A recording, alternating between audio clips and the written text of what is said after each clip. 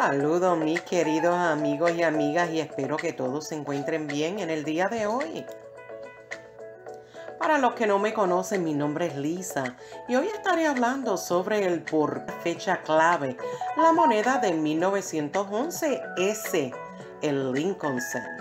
Y también les voy a estar dando varios precios, así es que muy pendiente a este tema que a muchos de ustedes les interesa. Bueno, todos le dieron con llamarme hoy o mandarme mensajitos, ¿ah? Y pudieron escuchar.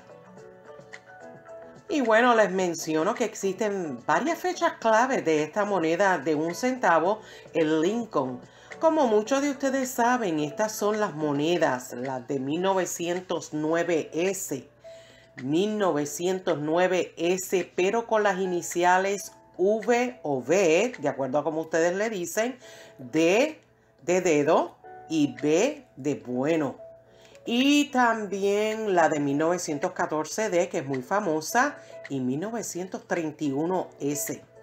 Aunque les tengo que decir que no debemos omitir otras monedas que son favoritos de muchos coleccionistas, como el año de 1922, el No D, el Strong Reverse, el de 1943, el de bronce, y el de 1955, el Double Die, que es sumamente eh, famoso y, y de mucho valor. Por supuesto, estos últimos tres consiste estrictamente en variedades, no en fechas de emisión regular como los primeros cuatro centavos de Lincoln, que son raros mencionados que, que les mencioné anteriormente.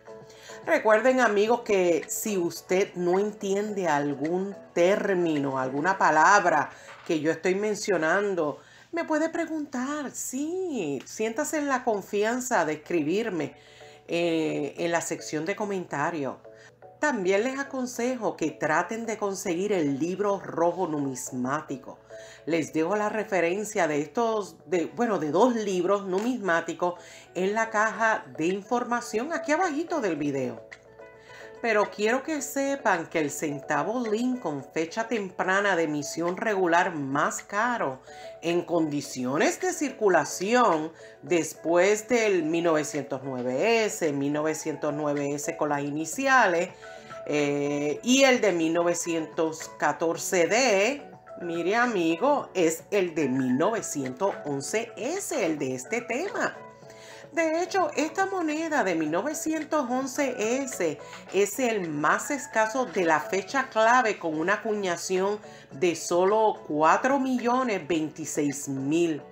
Y bueno, según PCGS, que es una compañía que certifica moneda, y existe una población moderna aproximadamente de 40 mil sobrevivientes y un número relativamente pequeño para el centavo de Lincoln, desde cualquier punto de vista. También tiene la acuñación más baja de cualquiera de los primeros centavos de Lincoln S con la excepción de 1909S y 1909S con sus iniciales VDP. Pero esto por sí solo no es la razón por la que la moneda de 1909S es tan escaso en la actualidad. Al ser una moneda de uso frecuente en su día, muchas simplemente se llevaron al olvido.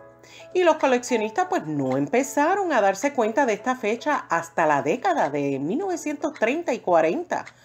Para entonces quedaba relativamente pocos centavos del Lincoln de 1911S en calificaciones decentes y, y, para que el auge de la recaudación de la década de 1950 la mayoría había desaparecido de los bolsillos y de las carteras. Y vamos a mencionar un punto importante y es que este centavo los busca muchísimo los coleccionistas, pero no son con un acuñamiento débil, no, no, no, es más la regla que la excepción. Por lo tanto, los coleccionistas querrán buscar huelgas fuertes, acuñamientos fuertes, que existen pero que pueden eh, ser difíciles de encontrar. Independientemente del nivel del grado o condiciones que se busque, el coleccionista necesitará un poco de paciencia para obtener un buen ejemplar. pero la espera valdrá la pena. Así que recuerden que el atractivo visual lo es todo. Y esto resultará de particular importancia para los coleccionistas que quieran construir conjunto. ¿Ok? Y cuando yo digo el atractivo visual es lo bonito que se vea y las condiciones, las tonalidades. Pero bueno, ya hablemos de los diferentes precios según el grado o su calificación. Y obviamente ustedes pueden ir a diferentes sitios web para mirar eh, los precios aproximados de acuerdo al mercado numismático. Pero les voy a dar algunos precios. Si estuviera en un grado de G4, estará alrededor de 32 dólares. Si está en un grado F12, estará alrededor de 40 dólares.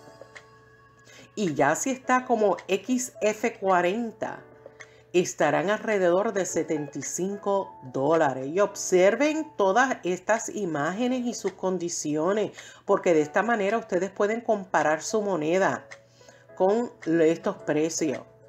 Ahora, si ya está un M60 BN y BN significa brown, el color café, estará alrededor de 200 dólares. Recuerden que cuando se califica y se pone BN, RB, eh, significa el tipo de tonalidad que se está convirtiendo dicha moneda. Si está en una condición MS63RB Red Brown, bueno, está en un rojito, color cafecito, va a estar alrededor de 425 dólares. Y también les tengo que mencionar que en julio del 2021, no hace tanto tiempo, hubo una venta de una moneda calificada como MS65RD Red que se vendió por 2.150 dólares.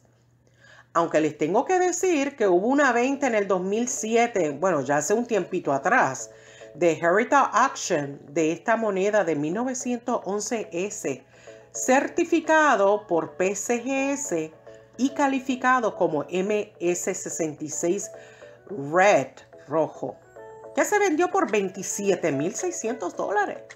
Y es una, una cantidad bastante increíble, ¿verdad? Dicha venta.